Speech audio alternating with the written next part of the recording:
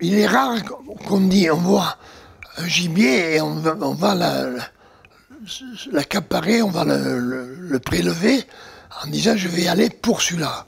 Ça, arrive ça, mais c'est pas tout le temps. Ça, m'est arrivé moi, en disant cet isard il est là, il faut que je.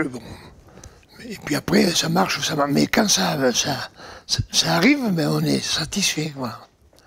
Tous les trophées qui sont là, ils sont tous inventoriés et l'endroit, l'année et où il a été prélevé. Quand je vais disparaître, je ne sais pas ce qu'on en fera ici. On les mettra à la chaudière, peut-être. Je ne sais pas.